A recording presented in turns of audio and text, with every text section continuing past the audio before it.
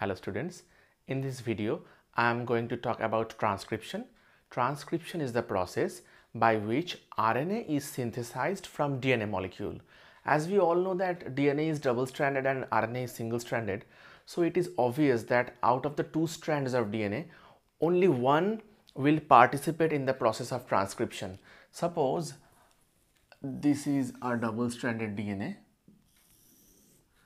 Now out of these two strands this is the 5 prime to 3 prime and 3 prime to 5 prime. Out of these two strands only one will part participate in transcription process. Suppose this 3 prime to 5 prime strand participate in this process. So this strand will be known as template strand. Template strand and the strand that will remain silent or do not participate in the process known as anti-template anti-template or non-template non-template strand. This strand also known as antisense strand now, RNA will be synthesized from or rather RNA will be synthesized only from 5 prime to 3 prime direction and it will be synthesized upon the 3 prime to 5 prime template strand. Now which strand will be transcribed that depends on the um, position of promoter and terminator. Now what are promoters and terminators? Promoters are the site where transcription initiates. Let me draw.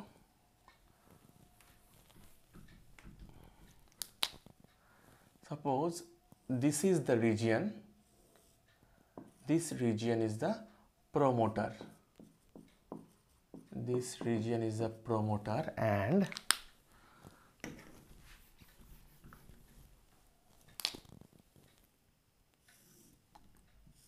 this one is the terminator.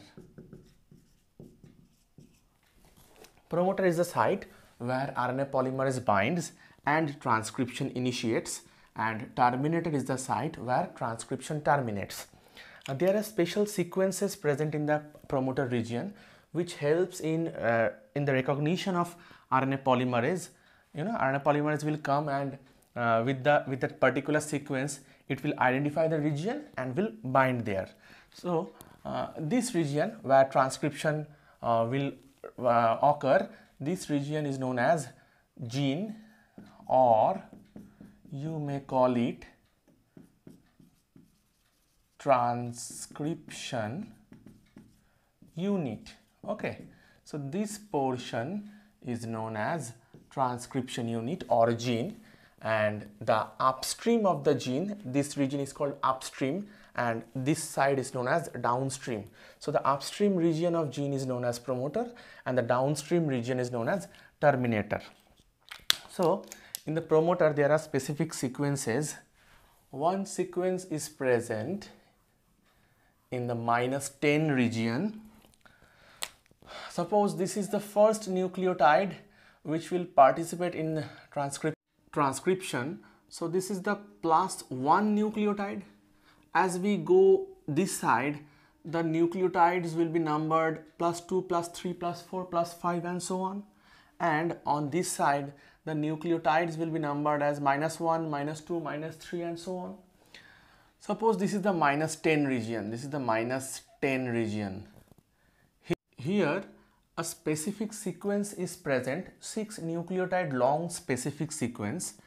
Uh, the sequence is TA, TA, TATA AT, which is present in the minus 10 region downstream from the transcription initiation point or present in the promoter region. And this sequence is present on the uh, anti-template strand. Okay here. The midpoint is uh, taken as minus 10 suppose it is present from minus 8 to minus 13 or minus 7 to minus 12 like that. So this sequence is known as Tata box, Tata box or also known as Pribnow box. After the name of its discoverer David Pribnow. Okay, David Pribnow discovered this uh, sequence. That's why it is named Pribnow box and another sequence is present in the minus 35 region. This sequence is TTGACA this is also present in the anti-template or non-template strand. This 6 nucleotide long sequence is known as recognition sequence uh, the uh, sigma factor of RNA polymerase recognizes this sequence first and uh, binds here. So this is the recognition sequence, okay. So the minus 10 sequence is Tata box or Pribnow box and the minus 35 sequence is recognition sequence. Now, um, we all know the process of replication and we have seen that uh, there are um, many proteins uh, which are required in the process of replication which is a complex process. But in case of transcription only one protein is sufficient uh, to, uh, to do, uh, do the work which is um, RNA polymerase.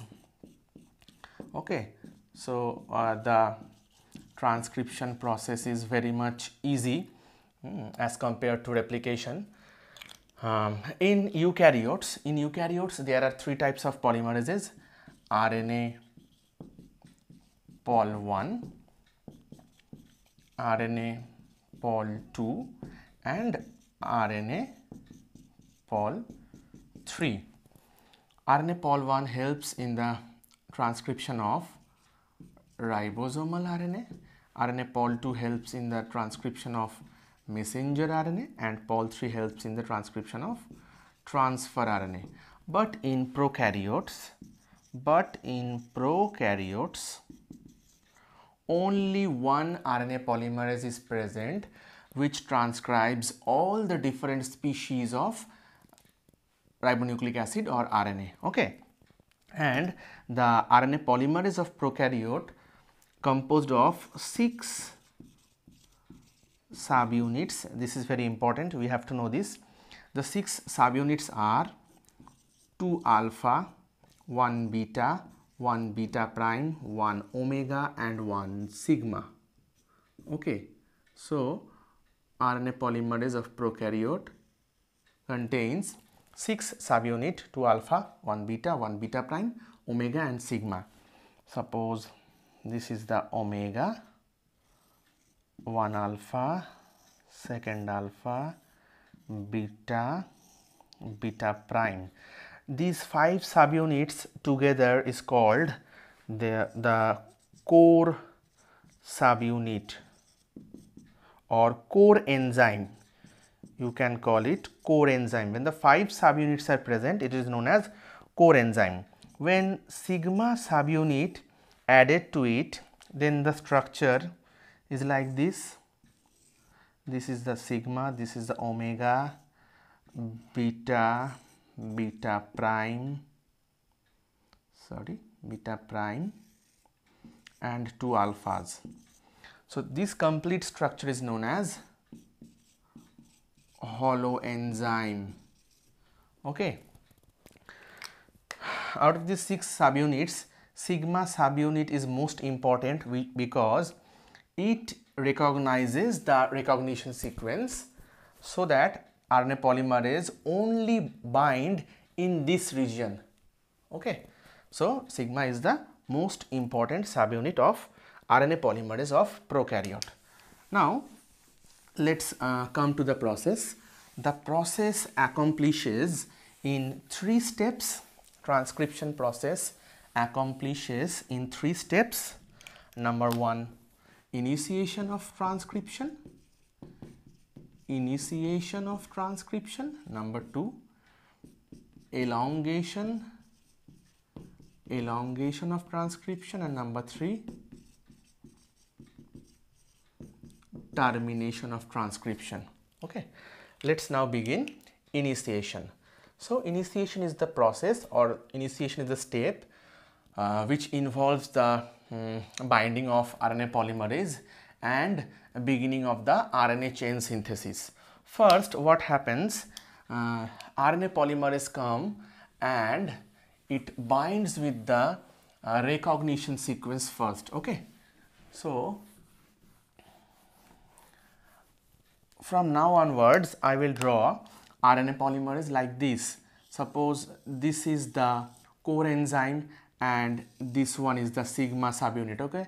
So this is the core enzyme and this is the sigma subunit. So together it is hollow enzyme.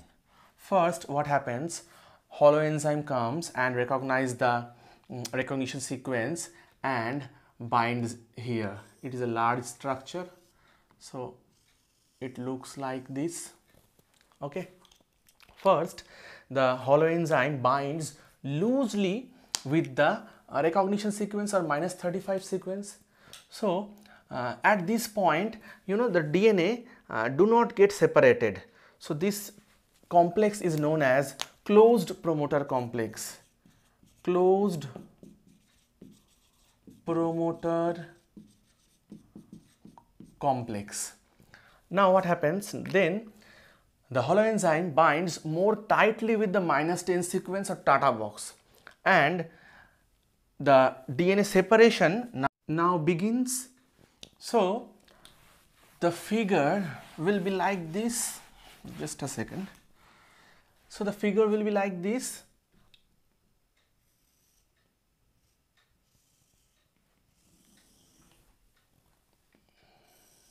this is the separated region of DNA okay suppose this is the plus one nucleotide from where transcription will, uh, will initiate. Okay uh, this is the holoenzyme okay. Hydrogen bonds are present in these regions. These are not separated yet. 5 prime to 3 prime and this is the 3 prime to 5 prime okay?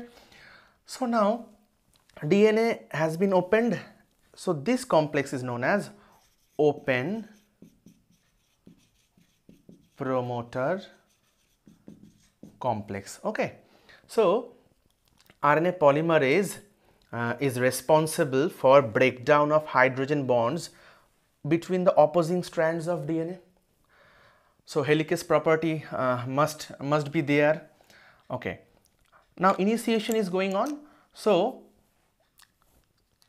here complementary nucleotide will come. For plus 2 nucleotide another nucleotide will come and phosphodiester bond bond will be formed between them and the RNA transcript will be elongated. So this is the 5 prime end of the RNA transcript and this is the 3 prime end. RNA transcript will always grow in 5 from 5 prime to 3 prime direction. So this is the 5 prime and this is the 3 prime. Okay. So this process will uh, continue further until the RNA transcript is along uh, is almost 9 to 10 nucleotides long. Okay.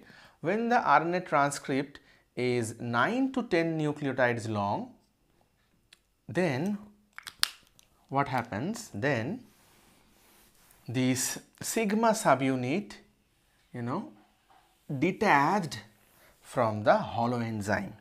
So, this sigma subunit released from the holoenzyme. This is the sigma subunit. So only core enzyme is present here. So a conformational change occurred in the structure of RNA polymerase. Now RNA polymerase uh, gets the ability to move along the DNA template and it starts moving from uh, this initiation site initiation initiation point towards the terminator region. So the figure will be like this.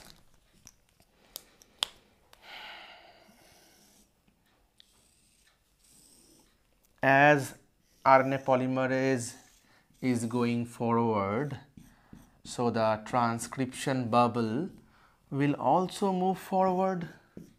This separated portion is the transcription bubble right? This is the transcription bubble. Now RNA polymerase is here and previously opened portion of DNA now has been joined because of the complementary base pairs. Okay. And the RNA transcript is now lengthened. It is more long now and only the newly synthesized this is the 5 prime end of RNA transcript and this is the 3 prime only the newly synthesized 3 or 4 last 3 or 4 nucleotides remain attached with the template DNA okay.